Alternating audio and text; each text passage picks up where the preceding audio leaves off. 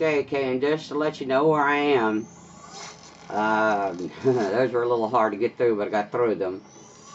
Um, I think I'm on floor 106, I'm not sure. Um, yeah, those uh, infrareds are hard to jump. But I got through it, and I wanted to let you know that I'm still playing, so we'll get back to you soon as.